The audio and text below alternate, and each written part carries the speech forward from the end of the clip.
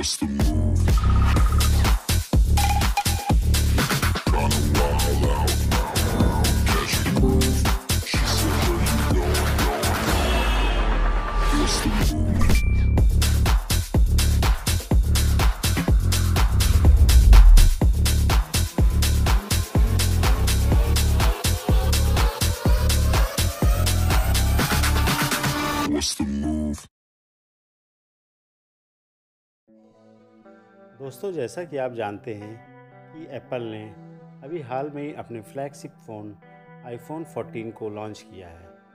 इसमें चार वेरिएंट को लॉन्च किया गया है। दोस्तों इस वीडियो में हम बात करेंगे कि इन चार वेरिएंट यानी Apple iPhone 14, iPhone 14 plus iPhone 14 pro and iPhone 14 pro max के बीच में क्या अंतर है।